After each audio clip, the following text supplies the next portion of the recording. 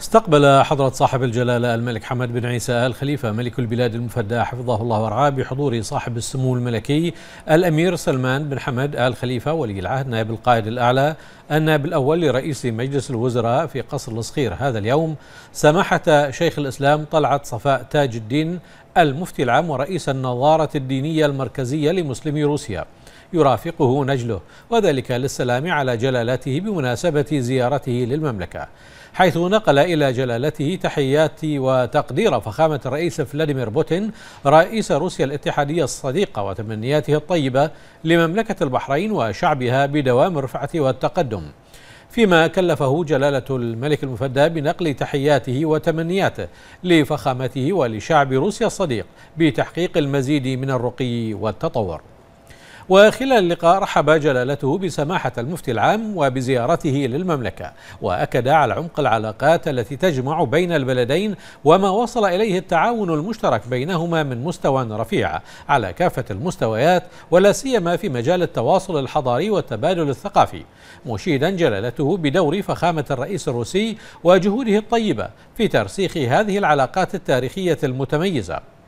كما أعرب جلالة الملك المفدى عن تقديره لجهود سماحة المفتي العام لإعلاء قيم التعايش والحوار والوسطية ونشر المفاهيم الإسلامية الأصيلة بما يعكس الصورة الحقيقية للدين الإسلامي الحنيف الذي يدعو للمحبة والتسامح ونبذ الإرهاب والتطرف بكافة أشكاله منوها بالتعاون القائم بين المجلس الأعلى للشؤون الإسلامية والمؤسسات الإسلامية في روسيا بما يعود بالخير والمنفعة على الجانبين. وأعرب صاحب الجلالة عن اعتزازه بما تنعم به المملكة من حرية كبيرة على صعيد ممارسة الشعائر الدينية مؤكدا أن البحرين تميزت على امتداد تاريخها بأنها نموذج عالمي يحتذى به في التآخي والتعايش والتسامح بين جميع الأديان والطوائف في ظل سعيها الدائم لترسيخ ثقافة التقارب بين الثقافات والحضارات.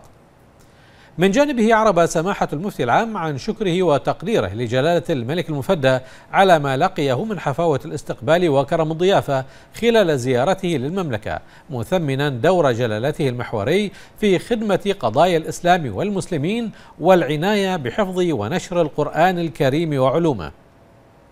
وأشاد بمبادرات جلالته الهامة في نشر مبادئ التسامح والاعتدال ونبذ التعصب وإشاعة السلام والتعايش الإنساني مشيدا بأجواء التسامح والمحبة وروح الأسرة الواحدة التي تنعم بها مملكة البحرين في ظل قيادة جلالة الملك المفدى. وقد قدم سماحة المفتي العام لجلالة الملك المفدى كتاب النظارة الدينية المركزية لمسلمي روسيا إضافة إلى سيف تاريخي يعود إلى الحضارة القديمة للديار الروسية.